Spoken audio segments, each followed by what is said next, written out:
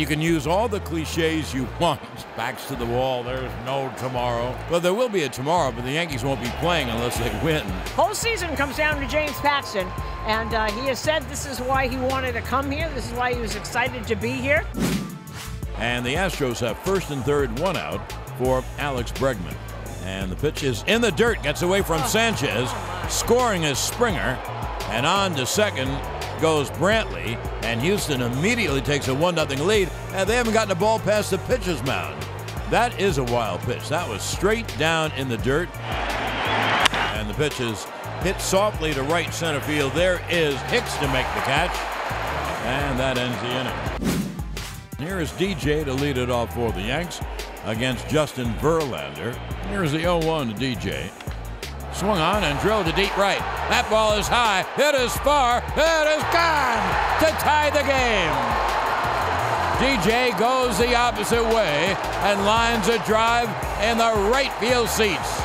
David John makes long gone. He homers to right, and the game is tied at one. That'll give the Yankees a lot of hope, I would say. It'll be a 3 2 to Hicks. The pitch is lined deep to right field down the line. She is gone. It hit the foul pole. It climbed off the foul pole. It's a three-run home run. Aaron Hicks hits one to the sticks. A three-run blast. And the Yankees take a 4-1 lead. And Verlander actually just squatted down on the mound, and he knew that. And that sometimes you got And if that doesn't get this team going, I don't know what will. Certainly got the fans going. Now to the top of the second inning. Struck him out swinging slow breaking ball. The lack of speed struck out Alvarez. And here's the 0 2. Struck him out swinging high fastball. Strikeout number two for Paxton. 2 2. Struck him out swinging. Fastball away. To Brantley. Struck him out swinging. Strikeout number eight for Paxton. And the second time he's gotten Brantley. Struck him out swinging, breaking ball. And they're two way.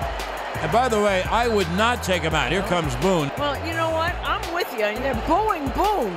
Are they making the call? He's, and Paxton just saying, I'm all right. Oh, and Boone leaves. Don't tell me he doesn't listen to the games. So Robinson Chirinos will be the hitter with two outs. And Paxton deals. Swung on a high fly to left. Back goes Gardner on the track at the wall. Makes the catch right at the wall to end the inning. So Paxton leaves, having thrown a brilliant six innings. Britton got the last two outs of the seventh. Only pitched to two men. The 2 1 is grounded weakly to third. Hustling Gio Fields. Fires. Got him. One away. Big game like this, I want the ball hit to Gio. He's terrific. He is terrific. Pitch.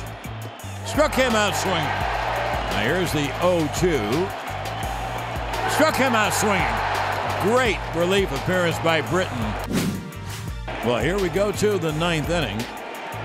Aroldis Chapman comes on for the save. And Chapman deals. Line on one hop to third. Gio Fields throws across in time. Ball game over. Yankees win. The Yankees win. And the Yankees will send it back to Houston.